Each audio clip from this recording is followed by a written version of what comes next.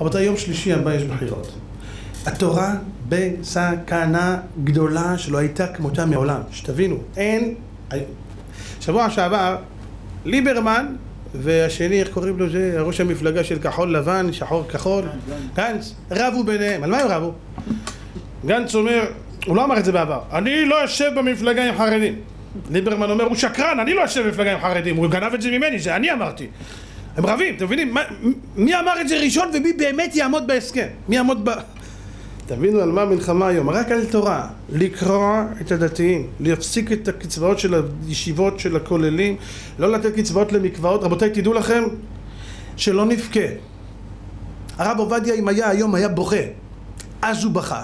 היום מצב הכי גרוע שהיה אי פעם, שתדעו לכם, לא היה ימים כאלה שדיברו בריש גלי ככה נגד על השם ועל משיחו, מפחיד! רבותיי, זה פשוט שכל אחד מאיתנו חייל של השם והולך להצביע ש"ס, לחזק את התורה, שיהיה מישהו שיגן על התורה, יגן על השבת. רבותיי, אני אומר לכם, לא ירחק היום שיכריחו פה, פה מדינת ישראל לעבוד בשבת כמו בארצות בחוץ לארץ. לא בשבת אתה לא תקבל לעבודה. רבותיי, אתם לא מבינים, זה מלחמה של תורה. ומי שלא מצביע הוא פושע. אין לי מילים אחרות, פושע.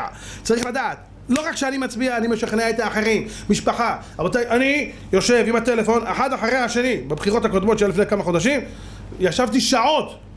ברוך השם זכיתי מאות אנשים להכניס אותם לקלפי והצביעו. אחרי זה התקשרו הרב תודה רבה שזיכית אותנו. רבותיי זו זכות שאין לה אח ורע. הרב עובדיה לא מספר בדיחות הרב עובדיה אומר ככה דע לך אתה תבוא לשמיים. אתה תגיד יגידו לך בשמיים אתה חילוני חילוני. אשריך חזק וברוך אתה בנית מקוואות אתה בנית ישיבות. פדיחות אני לא עשיתי דברים כאלה אני בכלל הייתי חילוני. אתה בנית ישיבות אתה נתת אמר הרב דע לך אין צדקה בעולם שאתה יכול לתת. בעולם. לא תצליח להחזיק תורה כמו פתק אחד בארבע שנים. זה המילים שלו, לא שלי.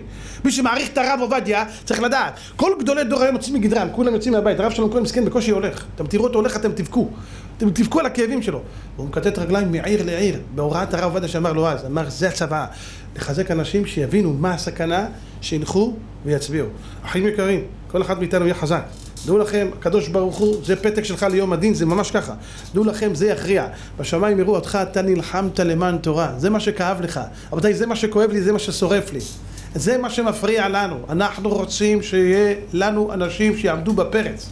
שיילחמו נגד כל אלה שקמים נגד השם, נגד התורה. אז בעזרת השם, אני מתפלל. בתפילה שלי הכי גדולה זה שליברמן לא יעבור את אחוז החסימה. בעזרת השם יתברך, בזכות ההיכל הקדוש הזה, בזכות כל השיעורים שנתתי בחיים שלי, כל, כל מה שעשינו בחיים, כל התנאים והאמוראים, שהאיש הזה לא ייכנס לממשלה. לא יעבור את אחוז החסימה, שיהיה לו ביזיון שהוא יבין, מי שנלחם בשם קיבל פצצה. בעזרת השם. אנחנו קמנו ונתעודד. אם היה פעם שעברה שמונה, הפעם יהיה שש עשרה. פי שתיים, נכפיל את כוחנו.